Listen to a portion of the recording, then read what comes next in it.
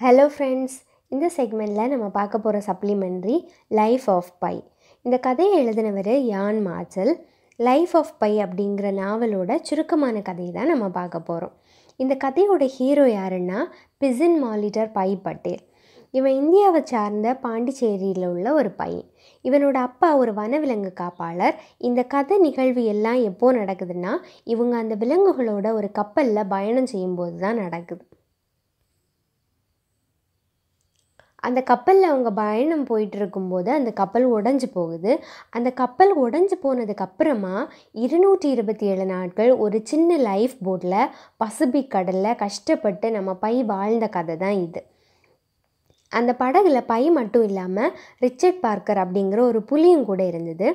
By அந்த புலியோட நடந்த கதையை அவனே விளக்கமாக சொல்கிறான் யாருமே இல்லாமல் பசுபிக் கடலில் தனியாக இருக்கிறான் அந்த லைஃப் போட்டில் அந்த ஷிப்ரக்கில் இருந்து எப்படியோ தப்பிச்சு பசுபிக் கடலில் தனியாக இருக்கான். அப்போது ஒரு புலி ரிச்சர்ட் பார்க்கர் அப்படிங்கிற ஒரு புலி துடுப்பை பிடிச்சி அந்த லைஃப் போட்டுக்கு ஏறி வந்துட்டுது. ஆனால் அது பைக்கு தெரியாது. அவனுக்கு கீழே நிறைய சுறா மீன்கள் எல்லாம் கிடந்தது. புயலும் அவனுக்கு எதிராக வந்துட்டு இருந்தது. ஒருவேளை அந்த புலியை அவன் பார்த்துருந்தா அந்த துடுப்பை கையிலேருந்து விட்டுருப்பான். எப்படியோ கடவுள் கிருபியால் தான் அந்த துடுப்பை விடாமல் பிடிச்சிருந்தேன் அப்படின்னு சொல்கிறான் ஆனால் நடந்த விஷயங்கள் எல்லாமே அவன் வாழ்கிறதுக்கு வழி பண்ணுற மாதிரியே தான் இருந்தது. அந்த படகு தண்ணியில் மூழ்கலை. ரிச்சர்ட் பார்க்கரும் ரெண்டு நாளாக இவன் பை வந்து ரிச்சர்ட் பார்க்கரை ரெண்டு நாளாக பார்க்கல. சுறா மீன் எல்லாமே கீழே இற தேடிக்கிட்டே இருந்தது. ஆனால் அவன் அட்டாக் பண்ணலை. கடல் அலைகள் கூட அவன் மேலே வந்து அடிச்சது. ஆனால் கடலுக்குள்ளே தள்ளி போடலை அவனை. அந்த உடஞ்சி போன கப்பல் மெதுவாக தண்ணியில் காணாமல் போகிறத அவன் பார்க்குறான். எல்லா விளக்குகளுமே அணைஞ்சு போகுது. அவனோட குடும்பத்தில் யாராவது இருக்காங்களா? யாராவது தப்பிச்சவங்க இருக்காங்களா? வே இல்லை வேறு ஏதாவது லைஃப் போட் தெரியுதா? அப்படின்னு தேடி பார்க்குறான் யாரையாவது பார்த்தா ஒரு நம்பிக்கை கிடைக்குமே அப்படின்னு நினைக்கிறான். ஆனால் எதையுமே கண்டுபிடிக்கவோ பார்க்கவோ முடியலை. அங்கே வெறும் மழையும் சத்தம் போடக்கூடிய கடல் அலையும் மட்டும்தான் இருந்தது. அப்புறம் இருள் மெதுவாக மறைய ஆரம்பிச்சது. மழையும் ஸ்டாப் ஆயிடுச்சு அவனுக்கு ரொம்ப குளிராக ஒரே இடத்துல உட்கார முடியலை. ரொம்ப சோர்வடைஞ்சிட்டான். சாஞ்சு உட்கார்ந்ததுனால முதுகும் வலிக்க ஆரம்பிச்சது. வேறு லைஃப் போட் அவன் பார்க்கணுன்னாலும் இன்னும் உயரத்தில் பை இருந்தால் தான் பார்க்க முடியும். காலையில் அவனால் அசையவே முடியலை. யோசிச்சுக்கிட்டே இருக்கிறது கூட அவனை இன்னும் ரொம்ப டயர்ட் ஆக்கிட்டு வர வழியில் ஒட்டகல் பாலைவனத்தில் கடந்து போகிறத பார்க்கும்போது சில யோசனைகள் அவனோட மனசில் வர ஆரம்பிச்சுது. அப்போது தான் ஃபஸ்ட்டு ஃபஸ்ட்டாக எப்படி வாழ போகிறோம் அப்படின்னு அவனோட மனசு அன்னைக்கு அவனையே கேட்க ஆரம்பிச்சுது. மூணு நாளாக அவன் எதுவும் குடிக்கலை சாப்பிடலை தூங்க கூட இல்லை. அந்த ரிச்சர்ட் பார்க்கர் புலியும் போட்டில் தான் போட்டில் தான் இருந்தது. அவனுக்கு கீழே இருக்கக்கூடிய தட்டில் தான் அது இருந்தது. ஆனால் அவனால் அதை நம்பவே முடியலை. ரொம்ப நேரம் கழித்து தான் அது கனவு இல்லை நிஜம்னு அவனுக்கு புரிஞ்சுது. கிட்டத்தட்ட ரெண்டரை நாளாகவே இந்த புலி போட்டில் இருந்ததை அவன் கவனிக்கவே இல்லை. அது ஒரு பெங்கால் டைகர். அது நானூற்றம்பது பவுண்டு எடையும் இருபத்தி ஆறு அடி நீளமும் உள்ளது. அப்புறமா எனர்ஜி வந்த பிறகு அதை டீல் பண்ணலாம் அப்படின்னு பையன் நினச்சான். அந்த புலி அது இருந்த கப்பலில் முக்காவாசி இடத்த அதுதான் பிடிச்சி வச்சுருந்தது. பையன் ரீடர்ஸ்கிட்ட என்ன கேட்குறான்னா அந்த சமயத்தில் என்னோடய மொத்த நம்பிக்கையும் போயிருக்கும்னு நினைப்பீங்க.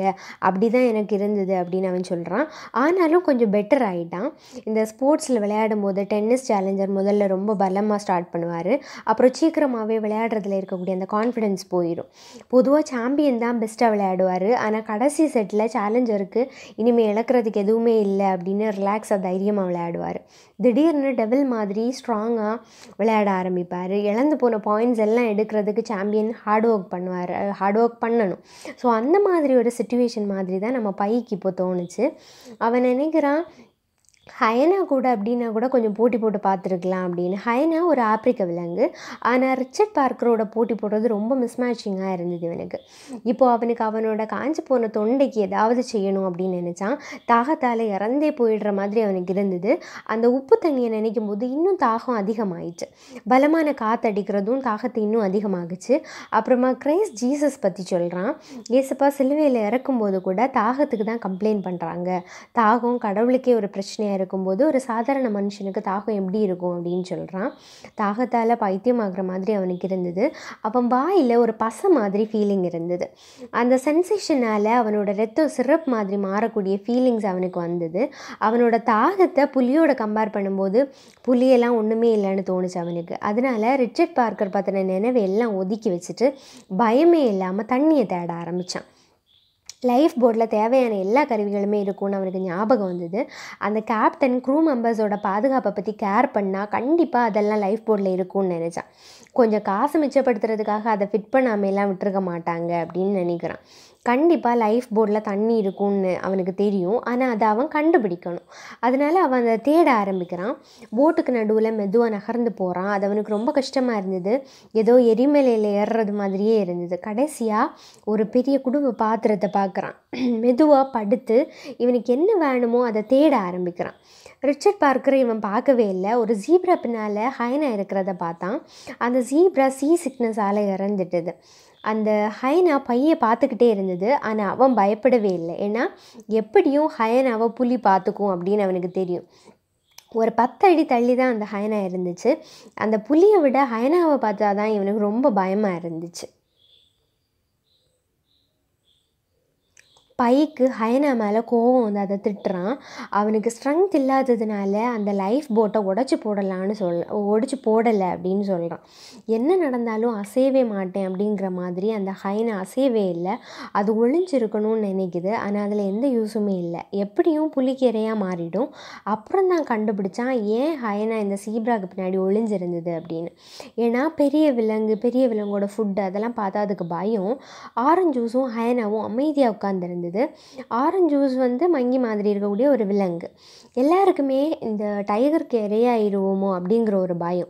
அதனால் பை மற்ற அனிமல்ஸ்கிட்டேருந்து தப்பிச்சிட்டான்.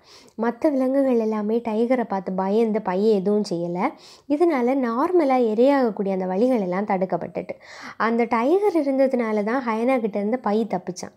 அது எப்படின்னா வரத்தெடுக்கக்கூடிய பாத்திரத்தில் இருந்து குதித்து நெருப்பிலேயே விழுறது மாதிரி. பெரிய அனிமலே பெருசாக பிஹேவ் பண்ணலை. ஆனால் இந்த ஹயனா ஓவரால் லிபர்ட்டி எடுத்து ஆரஞ்சு ஜூஸையே கொல்லக்கூடிய அளவுக்கு போயிட்டுது. நம்ம ரிச்சர்ட் பார்க்கர் அமைதியாக இருந்தது. பையன் என்ன நினச்சான்னா அந்த டைகர் சீ சிக்னஸால் தான் சைலண்டாக இருக்குது அப்படின்னு. கப்பல் உடஞ்சது அந்த சத்தம் கடலுக்குள்ளே விழுந்தது லைஃப் போட்டுக்கு கஷ்டப்பட்டு நீந்தினது இது எல்லாமே டைகரை டயர்ட் ஆக்கிட்டுது அப்படின்னு நினைக்கிறான். அவனோட அப்பா ஜூ கீப்பராக இருக்கிறதுனால விலங்குகளுக்கு ஊசி போட்டு மயக்கம் போட பண்ணுவார். அப்படி தான் ரிச்சர்ட் பார்க்கரையும் ஷிப்ரக் ஆகிறதுக்கு முன்னாடி மயக்க மருந்து போட்டிருப்பாங்க அப்படின்னு பையன் நினச்சான். இந்த லைஃப் போட் மூணரை அடி ஆழமும் எட்டு அடி உயரமும் இருபத்தி ஆறு அடி நீளமும் உள்ளதாக இருந்தது. அதெல்லாம் படகு பக்கத்தில் எழுதி இருந்தது அந்த லைஃப் போர்டில் மேக்ஸிமம் முப்பத்தி ரெண்டு பேர் இருக்கலாம். பையன் நினச்சா நிறைய பேர் இருந்திருந்தா கூட ஹாப்பியாக இருந்திருக்கும். ஆனால் வெறும் மூணு பேர் இருந்தும் படகு ரொம்ப க்ரௌட் ஆகிட்டு அப்படின்னு. அவனுக்கு என்னமோ ஆரஞ்சு தான் சர்வைவல் கலர் மாதிரி தெரிஞ்சுது. ஏன்னா லைஃப் போட்டுக்குள்ளே இருந்த எல்லா திங்ஸும் டார்பால் லைஃப் ஜாக்கெட் துடுப்பு விசில் எல்லாமே ஆரஞ்சு கலரில் தான் இருந்தது. அவனுக்கு தேவை வரும்போது தான் ஒவ்வொரு பொருளை பற்றியும் தெரிஞ்சுக்கிட்டான். சில நேரம் அவன் மனசில் வரக்கூடிய சின்ன சின்ன விஷயங்கள் ஒரு விதமான ஒளியை பிரைட்னஸ் அவனுக்குள்ளே கொடுக்க ஆரம்பிச்சுது. ஆனால் அந்த விஷயங்கள் எல்லாம் முன்னாடி அவன் அவ்வளோ சீரியஸாக எல்லாம் எடுக்க மாட்டான். ஆனால் இப்போது சின்ன சின்ன விஷயங்கள் உயிரை காப்பாற்ற எவ்வளோ முக்கியம்னு புரிஞ்சுக்கிட்டான். இந்த மாதிரி விஷயங்கள் அடிக்கடி நடந்தது அந்த லைஃப் போட்டில் அப்போ தான் ஒரு விஷயம் உண்மைன்னு அவனுக்கு ஞாபகம் வந்தது. அது என்னென்னா எல்லா புதுமையான படைப்புகளுக்குமே தேவை தான் காரணம்னு. டார்பாலுக்கு அடியில் அந்த சப்ளைஸ் எல்லாம் இருக்குதான்னு பார்க்க மெதுவாக நகர்ந்து போகிறான் அவனை அதுக்கு அந்த அந்த மாதிரி அவன் போகும்போது அவனே அவனுக்கு பள்ளி மாதிரி ஃபீல் பண்ண வச்சுது. அந்த டார்பாலினை நீக்கினா அந்த சப்ளைஸ் எல்லாம் அவன் எடுக்கலாம். ஆனால் அதுதான் ரிச்சர்ட் பார்க்கரோட டென்னுக்கும் வழி. தாகம் தாங்க முடியாமல் மெதுவாக அந்த டார்பாலை நகர்த்தி உள்ளே போனால் மூணு அடி நீளமும் ரெண்டு அடி ஆழமும் உள்ள மினுங்கிட்டு இருக்கக்கூடிய ஒரு மூடியை பார்த்தான். ஒரு ஆரஞ்சு கூட்டமே அங்கே இருந்தது. திடீர்னு அதை பார்த்த உடனே பயந்துட்டான். ஆனால் அந்த ஆரஞ்சு அசையவே இல்லை. அதனால் மறுபடியும் அதை பார்க்குறான். அது டைகர் இல்லை அது லைஃப் ஜாக்கெட் ரிச்சர்ட் பார்க்கரோட டென்னுக்கு பின்னாடி நிறைய லைஃப் ஜாக்கெட் கிடந்தது. திடீர்னு அவனோட உடம்பு நடுங்க ஆரம்பிச்சுது. முதல் தடவையாக அப்போ தான் லைஃப் ஜாக்கெட் வழியாக ரிச்சர்ட் பார்க்கரை பார்க்குறான். பயங்கரமான உருவத்தோட அந்த ரிச்சர்ட் பார்க்கர் புலி இருந்தது. அதோட வயிறு மேலே அது படுத்திருந்தது. பைக்கிட்ட இருந்து ஒரு ரெண்டு அடி பக்கத்தில் தான் டைகர் இருந்தது. அவன் கையை நீட்டினாலே ரிச்சர்ட் பார்க்கரை தொட்டுடலாம். அவ்வளோ தூரம் தான் ரெண்டு பேருக்கும் இடையில ஒரு சின்ன டார்பால் தான் இருந்தது. என்னை காப்பாற்றி என் ஜெபத்தை கேளுங்கன்னு காட் கிட்டே இவன் ப்ரேயர் பண்ணுறான் மெதுவாக தரையில் படுத்துட்டான். அப்புறம் அவனுக்கு இப்போது வந்து தண்ணி கொடுக்கணும். மெதுவாக அந்த மூடியை திறக்கிறான். லாக்கர் மாதிரி அது ஓப்பன் ஆகுது. அந்த லாக்கர் நிறைய பொருட்களாலேயும் கருவிகளாலேயும் நிறைஞ்சிருந்தது. அந்த நேரத்தில் அவனோட சந்தோஷம் அவனுக்கு ஒரு நம்பிக்கை அதிசயம் ஆச்சரியம் எல்லாமாவும் இருந்தது. இருந்தது. கிறிஸ்மஸ் பர்த்டே வெட்டிங் தீபாவளி இந்த மாதிரியான கிஃப்ட் ஷேர் பண்ணக்கூடிய எந்த ஒரு நிகழ்ச்சியை விடவும் அது அவனுக்கு ரொம்ப சந்தோஷமாக இருந்தது. உடனே அவன் அவனோட கண் வந்து அவனுக்கு என்ன தேவையோ அதை தேட ஆரம்பிச்சது. தண்ணி பாட்டிலில் இருக்கா டின்னில் இருக்கா இல்லை கேனில் இருக்கான்னு தேட ஆரம்பித்தான் இந்த லைஃப் போர்டில் ஒரு கோல்டன் கேனில் பேக் பண்ணி வச்சுருந்தாங்க. அதுக்கு மேலே பிளாக் லெட்டர்ஸில் ட்ரிங்கிங் வாட்டர் அதோட கொள்ளளவு ஐநூறு எம்எல் ஹெச்பி ஃபுட்ஸ் லிமிடெட் அப்படின்னு எழுதியிருந்தது. அதே மாதிரி நிறைய கேன்ஸ் இருந்தது அங்கே. சந்தோஷத்தில் நடுங்கிட்டு இருக்கக்கூடிய அவன் கையில் ஒரு கேனை எடுத்தான். ரொம்ப வெயிட்டாக இருந்தது. அதை அசைச்சப்போ பபிள் சவுண்டு கேட்டது. அவனோட பல்ஸும் ரைஸ் ஆக ஆரம்பிச்சிது. இப்போது அந்த கேனை ஓப்பன் பண்ணணும். அந்த லாக்கரில் கேன் ஓப்பனர் இருக்குதா அப்படின்னு தேடுறான். ஆனால் கண்டுபிடிக்க முடியல. அதனால் பொறுமையை இழந்துட்டான். ஏன்னா இப்போவே குடிச்ச தாகத்தை அவனுக்கு தீக்கணும். தேவைப்பட்ட கருவியும் கிடைக்கல. சும்மா மன அழுத்தத்துக்கு ஆளாகி எந்த பிரயோஜனமும் இல்லை. செயல் தான் முக்கியம் அப்படின்னு நினச்சி கை நகத்தை வச்சு திறந்து பார்க்குறான். அப்புறமா பல்ல வச்சு கடிச்சு பார்த்தா அவன் எதுவும் ஆகலை. அப்புறம் அந்த டார்பால் ஹூக்கில் வச்சு அடித்தான் திரும்ப திரும்ப அடிக்கும்போது கடைசியாக ஒரு சொட்டு தண்ணி வெளியே வந்தது. அதை மெதுவாக நக்கிட்டு ஒரு பெரிய ஓட்டை அதே இடத்துல போட்டான். அந்த கேனை ரெண்டு கையாலையும் பிடிச்சிட்டு தண்ணி அப்படியே வாயில் ஊற்றுறான் அவன் என்ன சொல்கிறான்னா அப்போது அவனுக்கு இருந்த உணர்வுகளை அவன் வந்து கற்பனை பண்ண தான் முடியுமே தவிர அதை எடுத்து சொல்லுவதற்கு வார்த்தையே இல்லை அப்படின்னு சொல்கிறான் அவனோட வறன் வறண்டு போன அந்த தொண்டைக்கு அந்த தண்ணி ரொம்ப அழகாக சுவையாக அவனுக்குள்ளே இருந்தது. அதில் அதில் இருந்த கடைசி சொட்டு தண்ணி வரைக்கும் அவன் குடிச்சிட்டான். அந்த கேனை கடலில் போட்டு போட்டுட்டு அடுத்த கேனை எடுத்தான். மொத்தமாக ஒரு நாலு கேன் தண்ணி கிட்டத்தட்ட ரெண்டு லிட்டர் இருக்கும். அதை குடிச்சிட்டு கேனை கடலில் போட்டுட்டான். பை சொல்கிறான் மக்கள் எல்லாரும் வேகமாக தண்ணி குடித்தா அது உடம்பு அப்செட் பண்ணுன்னு சொல்லுவாங்க. ஆனால் அது முட்டாள்தனம் ஆனால் அவன் ரொம்ப ஃப்ரெஷ்ஷாக க்ளீனாக சுவாசிக்க ஆரம்பித்தான் அவனோட வாய் ரொம்ப சாஃப்டாக மாறிச்சு. அவனோட தோலெல்லாம் ரிலாக்ஸ் ஆகி முட்டெல்லாம் ஈஸியாக அசைய ஆரம்பிச்சுது. இதயமும் சந்தோஷமாக துடிக்க ஆரம்பிச்சுது. ரத்தம் கூட நரம்பில் வேகமாக பாய ஆரம்பிச்சுது. அது எப்படின்னா கல்யாணத்துக்கு கார் எப்படி டவுனில் பாஞ்சு போகுமோ அதே மாதிரி அவனோட பிளட் எல்லாம் ஃப்ளோ ஆக ஆரம்பிச்சிது. அவனோட பலம் திரும்ப அவனுக்குள்ளே வந்ததை அவனால் உணர முடிஞ்சது. அதில் அந்த கேனில் இருந்த தண்ணி கிட்டத்தட்ட நூற்றி இருபத்தி நாலு நாளைக்கு அவனுக்கு போதுமானதாக இருந்தது. அவன் ஒரு உண்மையை சொல்கிறான் என்னென்னா ரிச்சர்ட் பார்க்கர் மட்டும் அதில் இல்லைன்னா அந்த கதையை சொல்கிறதுக்கு இப்போது பை உயிரோடவே இருந்திருக்க மாட்டான் அப்படின்னு அவனே சொல்கிறான் அவனை தொடக்கத்தில் ரொம்ப பயமுறுத்தின அதே அனிமல் அதே புலி அதே ரிச்சர்ட் பார்க்கர் தான் கடைசியில் அவனை ரொம்ப அமைதியாகவும் காமாகவும் ஆக்குச்சு. அவன் அந்த புலியோட சேர்ந்து சாகணும் இல்லைன்னா ரெண்டு பேரும் வாழணும்.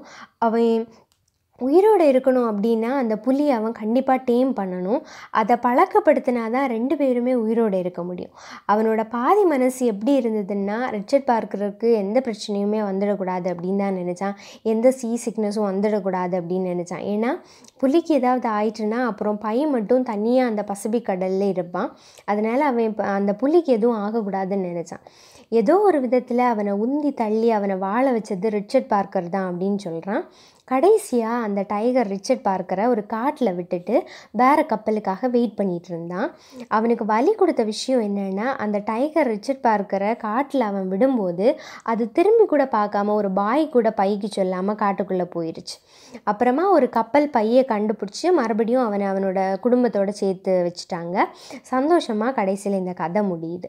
எவ்வளவோ தடைகள் கஷ்டங்கள் பையோட பயணத்தில் வந்த பிறகும் அவன் அவனை விட்டு கொடுக்குறதா மட்டும் இல்லை எந்த சூழ்நிலை சூழ்நிலையிலையும் எல்லா பிரச்சனையும் முகத்துக்கு நேராக ஃபேஸ் பண்ணி ஒரு நம்பிக்கையோட பயணத்தை தொடர்ந்துக்கிட்டே இருந்தான். கடைசியாக அந்த நம்பிக்கை தான் அவன் அவனோட குடும்பத்தோட ஒன்று சேர வச்சுது. இந்த கதை உங்களுக்கு புரிஞ்சிருக்கும்னு நினைக்கிறேன். நம்மவும் நம்ம லைஃப்பில் எந்த கஷ்டத்துலேயும் நம்பிக்கையை மட்டும் விடாமல் போய்கிட்டே இருக்கணும்.